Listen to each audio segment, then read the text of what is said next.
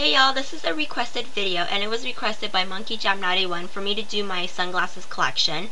And um, I only have two things in my sunglass collection, so I'm going to be sharing you with some other stuff as well, like a mini haul at the end of the video and things like that. So before I get started on the video, I will share with you what I have on my lips. It is not as bright as on the tube right here. But basically it is the Annabelle Lip Volume Plumping Gloss in Vivid Volume. And I have it on my lips. It just basically enhances the natural color of my lips, so that's pretty great. And as well on my nails, I have a French manicure. If you've been following me on my YouTube, um, not on YouTube, I mean on my blog, you and on my Twitter, you know that um, I went to a girls' night on Saturday last, this past Saturday, and one of my friends did my nails. I have to show it kind of far away because they're starting to chip, but I really like them very nice. So yeah let's get started on the video. Um, I really think it's important to wear sunglasses because the area of the eye near the eye skin near the eye is the most delicate part. Even if you have sunscreen on it's still um, you still need some protection especially the the um, UVA UVB really strong in the summer. So you need something to protect it so you don't get like crow's feet or wrinkles and things like that that are not fun at all so the bigger the sunglasses the better and I've never found sunglasses that actually fit me. Because I don't know why the bone structure on my face or whatnot. But um, I did get a pair last summer um, in Bowen Island. Um, I did a haul on it here on YouTube. Basically are these white ones.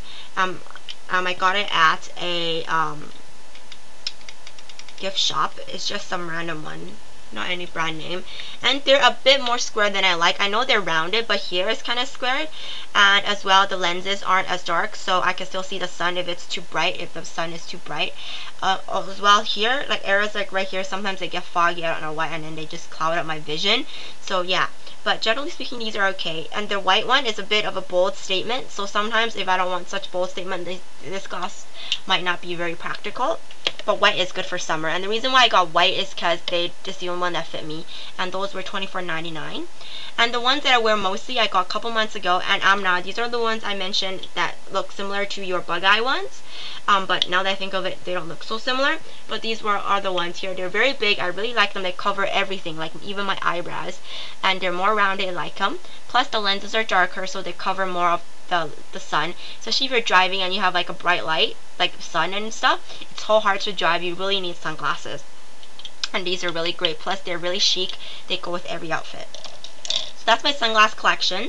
And now I'm going to be doing a uh, kind of a mini haul. I went to London Drugs yesterday or something, and I picked out um, uh, these two products because, as you know, if you follow me on YouTube, I love the Freeman um, Clay Mask, the avocado one. I swear by it. So now they came out with these two new products, their new line, which is their Superfruit Natural Antioxidant Skincare. This one is a Revealing Peel-Off Facial Mask. And this one is a Rejuvenating Facial Moisturizer. Um, these are only two bucks each at London Drugs. Uh, they usually sell for $5.99 or $6.99, so it's really great.